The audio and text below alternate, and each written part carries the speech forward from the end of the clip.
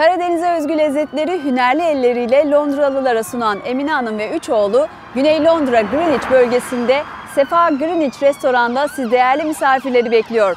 Gündüz tadına doyulmaz kahvaltı çeşitlerinden sonra akşam menüsünde de yer alan muhteşem kebap çeşitlerini görüntüledik.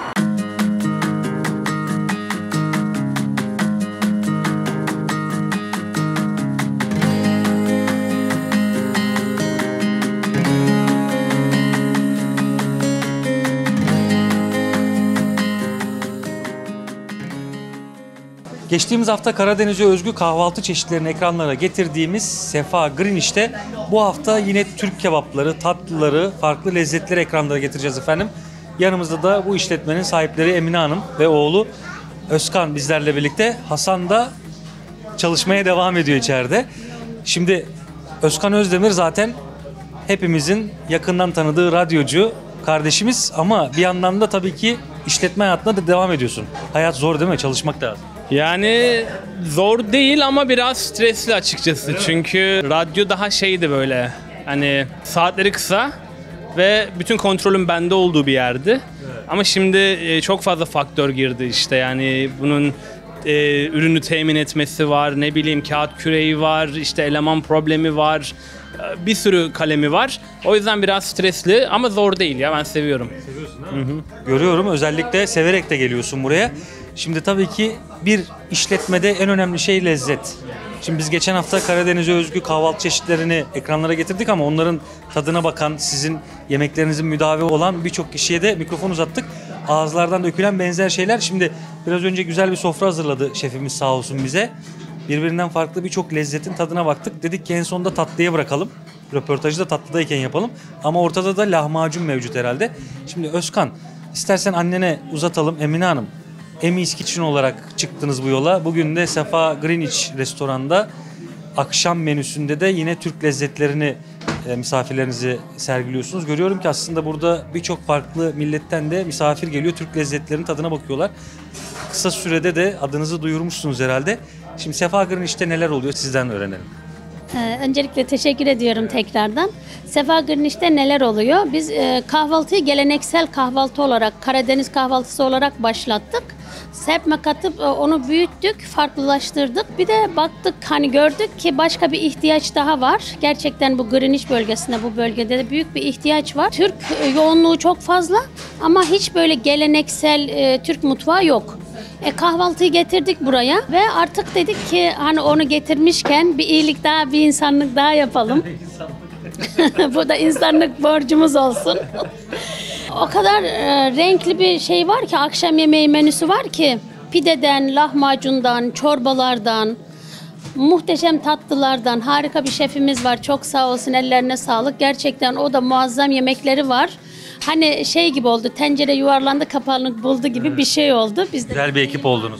Harika bir ekip olduk. Gerçekten çok da iyi. Ten- kendisine buradan teşekkür ediyorum ustamızın. Ayrıyeten e, incik mi dersin? Zaten kebaplarımız muhteşem. Gerçekten harika. Mantı koyduk. Ondan sonra içli köfte koyduk. Yani Türk geleneksel yemeklerinin belki de birçoğunu özel birçoğunu burada bulabilirler. Biz çok beğendik. Harika yani gerçekten de çok güzel ve tadanlar çok beğeniyor ve bu bölgede gene çok fazla etnik grup insanlar var. Onlar da çok beğenerek yiyorlar, çok seviyorlar. Bu da bizi mutlu ediyor. Aa, Şimdi de işte burada Sefa Greenwich'te e, sabahları emisk için kahvaltı, akşamları da muhteşem Türk yemekleriyle sevgili misafirlerimize, sevgili müşterilerimize servis yapıyoruz. Ben çok severek yapıyorum. Gerçekten şefimiz de öyle. İşine aşık bir insan. O kadar belli oluyor ki severek yapınca. Hani benim bir sloganım oldu artık. Bunu insanlar da seviyor. Gerçekten ben de öyle seviyorum. Bismillahirrahmanirrahimle başlıyoruz, dualarla başlıyoruz. Pozitif enerjilerle, sevgiyle yemeklerimizi yapıyoruz. Bu gerçekten insanların yüzünü gülümsetiyor. Yani her şey enerji ya. Sende ne varsa karşıya da o yansıyor. Ben buna inanıyorum canı gönülden. Umarım güzel olur. Şu ana kadar olan bütün e, görünen her şey çok çok güzel. E, İnsanların tepkileri, insanların vermiş olduğu geri bildirimler muhteşem, çok güzel. Herkes memnun. Biz de çok memnunuz. Umarım daha güzel olacak. Yavaş yavaş. Daha iyi nasıl olur diye, daha güzel, daha iyi nasıl olur diye bir evrene de notumuzu bırakalım. Bırakalım bakalım ne gelecek önümüzdeki süreçte. Sonrasında görelim. Şimdi görüyoruz ki aslında biraz önce annenin de söylediği gibi Özkan menüde her bir lezzete yer vermeye çalışmışsınız. Özellikle Türk lezzetlerini burada yansıtmak istiyorsunuz. Senin favorin hangisi onu soralım. Ee, Birçok şey var ya. Açıkçası bu işi yapmanın en güzel yanı çok güzel yemekler yiyor olmak. Sabahları çok güzel bir kahvaltı yapıyorum. Akşamları zaten envai çeşit yemek var. İnanın dışarıda bir yere hani birisi bir yere gidelim dediği zaman yok diyorum artık. Çünkü bu lezzeti orada bulamayacağımı düşünüyorum. Çünkü restoran sektörü e, çok şey oldu artık. Sosyal medyaya kaydı. Biliyorsun Instagram'a yönelik işler yapılıyor artık. Hani çok şık dekorlar, çok güzel tabaklar falan ama ya tabii güzel yapanlar da var her şey yani hem lezzeti hem dekoru güzel yapanlar var ama benim gördüğüm birçoğu artık lezzeti geri plana atmış durumda. Lezzet o kadar da önemli değil gibi. Herkes e, görselliğe önem veriyor. Biz kahvaltıda çok iyi bir ekiptik aslında. Akşama yönelik hani düşüncelerimiz, hayallerimiz vardı ama tam olarak bu hayalleri nasıl gerçekleştireceğimizi bilmiyorduk. İş başlayalım, e, yoğrulur, olur diye düşündük. Çok güzel bir ekiple karşılaştık. Burayı biz devralmıştık zaten. Burada e, çok güzel bir şefimiz vardı. Onun sayesinde çok daha da böyle işte emeği olan ve bu işi bilen bir e, şefimiz daha katıldı bize. O ikisinin işbirliğiyle, uyumuyla birlikte çok lezzetli yemekler çıktı ortaya. E, kahvaltı zaten anneme emanet. Akşamları da çok iyi iki tane şefimiz var onlara emanet. E, aynı şekilde yine e, salon ekibimizde de çok güzel insanlar e, bizi buldu. Bizim en büyük şansımız galiba bu işte hep pozitif, iyi niyetli insanlarla karşılaşıyor olmak. Onlarla birlikte çok güzel, çok kısa bir sürede iyi bir ekip kurduk ve zaten siz de görüyorsunuz daha şimdiden yoğun bir ilgi var. Sabah ayrı yoğun, akşam ayrı yoğun. İyi gidiyoruz çok şükür. E, lezzet, e, buradaki ana tema, ana e, düşünce, ana plan her şey lezzete yönelikti. Lezzeti tutturduk ve öyle de gidiyoruz bakalım. Şimdi ocak başında kebaplar pişiyor ama şefimiz sanırım onları işte Ali Nazik gibi ne bileyim farklı versiyonlarda farklı yemekler çıkartıyor herhalde değil mi menüde? Tabii tabii sadece kebap değil. Ee, Biz burayı aldığımızda e, daha kebap ağırlıklı bir yerdi. Kebap kaldı tabii ki o ana şeyi. Ama onun yanına pide, lahmacun, mantı, içli köfte, hünkâr beğendi, incik, Ali Nazik hani Türk mutfağı ile ilgili aklına gelebilecek birçok şeyi ekledik. Çünkü Güney Londra'da bu aynı zamanda büyük bir ihtiyaçtı. Güney Londra'daki Türk restoranların çoğu e, daha çok grill üzerine, grill meze ağırlıklı. E, Biz istedik ki birçok şey olsun. E, Hepsini ekleyelim. Ve Güney Londra'dakiler sürekli Kuzey Londra'ya gitmek zorunda kalmasınlar. Çünkü ben her gün kuzeyden buraya geliyorum çok trafik.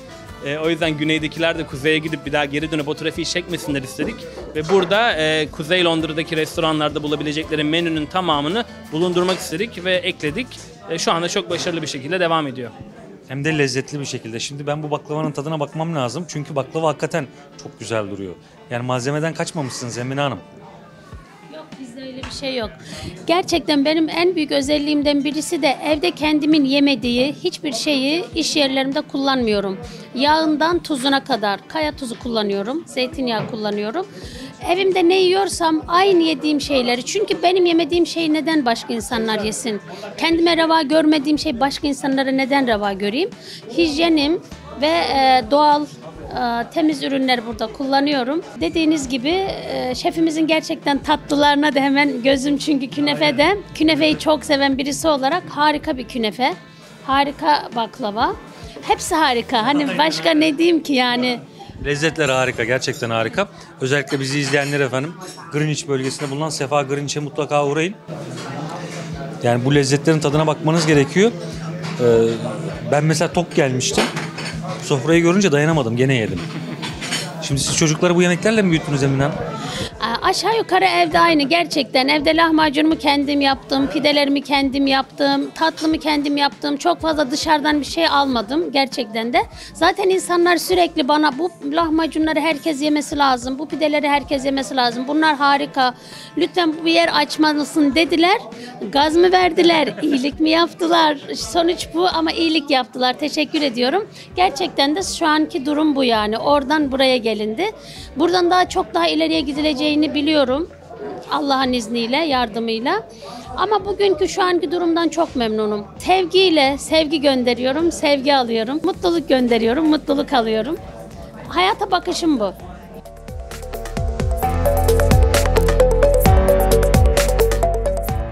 Şimdi Hasan kardeşim görüyorum ki hem Adana hem de şu an lemşiş servise hazır bir şekilde biz lezzetlerin de tadına baktık. Adana kendine has bir özelliği var herhalde. Aynen. Şimdi biz Adana'da e, farkımız nedir diyecek olursak Adana'da biz boyun etini kullanıyoruz. Boyun eti biraz daha yumuşak bir et. Hani shoulder'a nazaran genellikle shoulder kullanılıyor. Benim bildiğim hani endüstri içinde. Biz daha çok yumuşatmak için asıl e, öz tadını verdiğimiz için yumuşak bir et kullanıyoruz. Yumuşak bir et kullandığımız şöyle mesela şöyle koparıp elinle daha kolay dağılabilir bir et gördüğünüz gibi. Hani e, kaşık vursak, bıçak vur, bıçak vurmaya bile gerek yok. Kaşık vursan dağılıyor. sulu sulu. Zırhtan mı geçiyor bu? Zırhtan geçmiyor maalesef. O Adana'ya öz bir lezzet. Adana'ya öz bir sunum. Burada lem şiş görüyorum. Kuzu şiş. Onu da alalım istiyorsan. Aynen. Onun özelliği nedir? Et şişimiz de aynı. Yine keza e, shoulder'dan ziyade biz boyun etini kullanıyoruz. Boyun etini tercih ediyoruz. Hani restoranlarda neden tercih ediliyor bu et? Yumuşak olduğu için, steak varisi bir et olduğu için. Bunu da hani yediğinde ağzında dağılan bir et yumuşak. Lokum gibi mi? Ciddi anlamda lokum gibi. Şunu da bir bir parçalalım bakalım bunu da Pa- böyle. Şöyle daha dokunmadan Hakikaten lokum dağılıyor. gibi. Aynen. Parçala bakalım Hasan. Ben de alacağım şimdi.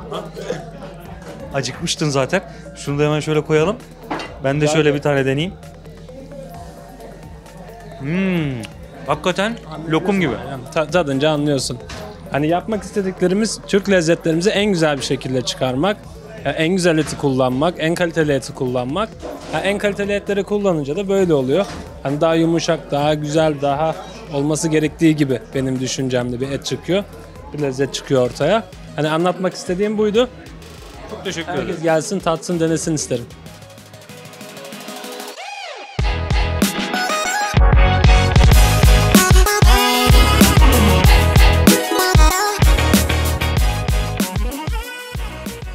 Feyza Hanım afiyet olsun. Şimdi duydum ki Hollanda'dan gelmişsiniz buraya misafir olarak. Türk lezzetleri nasıl buldunuz Londra'da onu sorayım. Nefis, nefis. Gerçekten buraya gelmenizi tavsiye ederim. Ne yediniz? Bates kebap. Kuzeniniz Sima ile birlikte. O da Adana'ya yemiş herhalde. Evet doğru. Ve el yapımı e, baklava Ramazan şefimiz müthiş. Gerçekten. Hollanda'da peki nasıl lezzet? Hmm, aynı aynı diyebilirim. Harika. O zaman size afiyet olsun diyelim. Son olarak bir şey söyleyecek misiniz? Ortam ortam çok sıcak. Ee, çalışanlar da çok e, ilgili. Gerçekten yani tekrar gelmeyi düşünüyorum.